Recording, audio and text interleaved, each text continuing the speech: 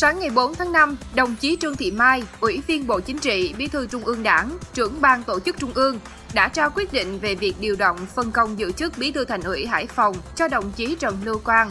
Theo quyết định, Bộ Chính trị điều động phân công đồng chí Trần Lưu Quang, Phó Bí thư Thường trực Thành ủy Thành phố Hồ Chí Minh, tham gia ban chấp hành, ban thường vụ và giữ chức Bí thư Thành ủy thành phố Hải Phòng, nhiệm kỳ 2020-2025 Đồng chí Quang được điều động phân công giữ chức Bí thư Thành ủy thành phố Hải Phòng thay đồng chí Lê Văn Thành vừa được bầu giữ chức Phó Thủ tướng. Sáng nay ngày 4 tháng 5, Ban chỉ đạo quốc gia phòng chống dịch COVID-19 thông tin về 4 ca mắc mới COVID-19 từ ca bệnh 2982 đến 2985. Trong đó có 2 ca được cách ly ngay sau khi nhập cảnh tại An Giang và 2 ca ghi nhận trong nước tại Đà Nẵng 1 ca, Hà Nội 1 ca. Ca bệnh 2982 ghi nhận tại thành phố Đà Nẵng, bệnh nhân nam 28 tuổi, địa chỉ tại thành phố Hội An, tỉnh Quảng Nam, làm việc tại quận Hải Châu, thành phố Đà Nẵng từ ngày 29 tháng 4. Ngày 2 tháng 5, bệnh nhân có triệu chứng sốt, mệt mỏi, được lấy mẫu ngày 2 tháng 5. Kết quả xét nghiệm ngày 3 tháng 5 dương tính với SARS-CoV-2. Hiện bệnh nhân được cách ly điều trị tại Bệnh viện Phổi Đà Nẵng. Ca bệnh 2983 cách ly ngay sau khi nhập cảnh tại tỉnh An Giang – bệnh nhân nữ 65 tuổi ở huyện An Phú, tỉnh An Giang. Ca bệnh 2984, cách ly ngay sau khi nhập cảnh tại tỉnh An Giang, bệnh nhân nam 57 tuổi ở huyện An Phú, tỉnh An Giang. Ngày 3 tháng 5, bệnh nhân 2983 đến 2984 từ nước ngoài nhập cảnh cửa khẩu Long Bình và đã được cách ly ngay sau khi nhập cảnh tại tỉnh An Giang. Kết quả xét nghiệm ngày 3 tháng 5 dương tính với SARS-CoV-2. Hiện các bệnh nhân được cách ly điều trị tại Trung tâm Y tế huyện An Phú, tỉnh An Giang. Ca bệnh 2985 ghi nhận tại thành phố Hà Nội, bệnh nhân nam 26 tuổi ở quận Bắc Từ Liêm, Hà Nội. Bệnh nhân có liên quan dịch tễ ngồi gần hai chuyên gia Trung Quốc, nhập cảnh cách ly ngay từ ngày 9 tới ngày 23 tháng 4 tại tỉnh Yên Bái trên chuyến bay VN160 từ Đà Nẵng đến Hà Nội ngày 29 tháng 4. Kết quả xét nghiệm ngày 3 tháng 5 dương tính với SARS-CoV-2. Hiện bệnh nhân được cách ly điều trị tại Bệnh viện Bệnh nhiệt đới Trung ương, cơ sở Đông Anh.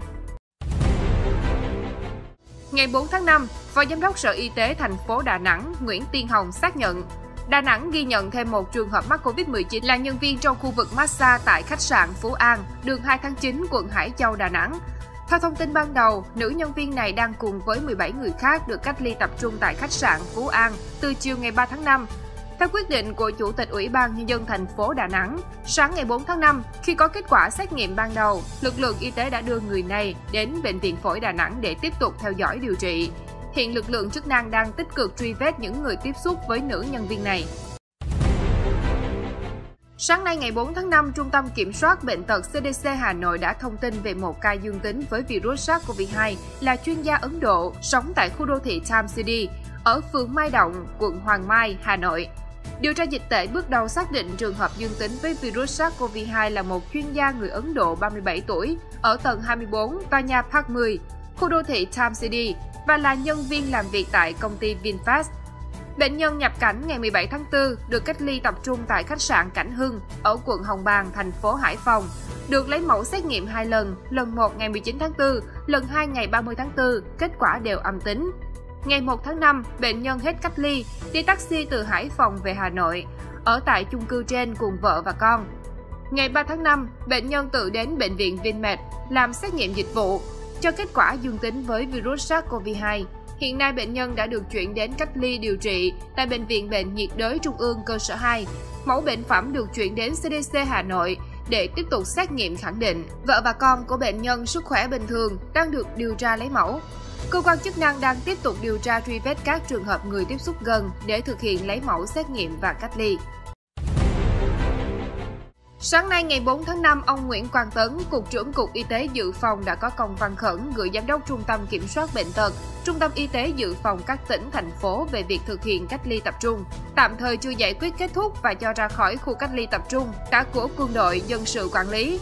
Đối với tất cả các trường hợp đã đủ điều kiện hết cách ly, tối thiểu 14 ngày, xét nghiệm hai lần âm tính, do thời gian gần đây có một số trường hợp hết cách ly tập trung, vẫn ghi nhận dương tính với virus SARS-CoV-2 làm lây lan dịch. Thời gian bắt đầu thực hiện từ 0 giờ ngày 4 tháng 5, thực hiện cho tới khi có thông báo mới của Ban chỉ đạo quốc gia phòng chống dịch COVID-19. Tối ngày 3 tháng 5, chính phủ Campuchia đã công bố quyết định dỡ lệnh phong tỏa đối với Nông Bên, và thành phố tiếp giáp thủ đô là Takemau, thuộc tỉnh Kandan, có hiệu lực kể từ ngày 6 tháng 5 tới. Tuy nhiên, chính quyền thủ đô Phnom Penh và tỉnh Kandan khẳng định sẽ vẫn áp dụng các biện pháp phong tỏa đối với một số khu vực thuộc hai địa bàn trên, cũng như những biện pháp cần thiết để phòng chống sự lây lan của dịch COVID-19. Trước đó, vào tối ngày 2 tháng 5, Thủ tướng Campuchia Hun Sen đăng tải thông tin trên trang Facebook cá nhân rằng sau ngày 5 tháng 5 tới, chính phủ Campuchia sẽ dỡ bỏ tình trạng phong tỏa phòng chống dịch COVID-19 tại thủ đô Phnom Penh và một số tỉnh khác, ngoại trừ những khu vực còn tình trạng lây nhiễm cao virus SARS-CoV-2.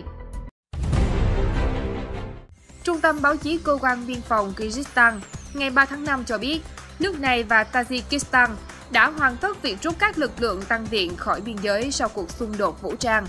Tranh chấp giữa cư dân địa phương ở khu vực biên giới Kyrgyzstan và Tajikistan, ngày 29 tháng 4 đã leo thang thành cuộc đụng độ vũ trang kéo dài hơn 6 giờ giữa lực lượng biên phòng hai nước. Sự việc khiến khoảng 50 người ở cả hai phía thiệt mạng và hơn 200 người bị thương. Hai nước đã nhất trí ngừng bắn và rút lực lượng khỏi biên giới từ ngày 29 tháng 4. Nhưng ngày 30 tháng 4 đấu súng lại diễn ra trước khi hai bên đạt được thỏa thuận ngừng bắn vào chiều cùng ngày. Hai đội nam công an thành phố Hồ Chí Minh và nữ thành phố Hồ Chí Minh đã chính thức giành suất tham dự vòng bán kết hạng A toàn quốc 2021 sau màn trình diễn hiệu quả ở vòng đấu bảng. Khép lại vòng loại giải hạng A toàn quốc 2021, trong ngày 3 tháng 5, ban tổ chức giải đã xác định 8 đội nam 6 đội dự vòng chung kết năm nay, trong đó có nam Công an thành phố Hồ Chí Minh, nữ thành phố Hồ Chí Minh. Vòng chung kết được tổ chức tại Vĩnh Phúc từ ngày 16 đến ngày 25 tháng 10. 8 đội nam sẽ bốc thăm vào hai bảng, chọn nhất nhì đấu chéo ở bán kết tranh suất chung kết. 6 đội nữ đấu vòng tròn một lượt tính điểm. Giải hạng A chỉ trao một suất nam, một suất nữ thăng hạng dự giải vô địch quốc gia năm sau.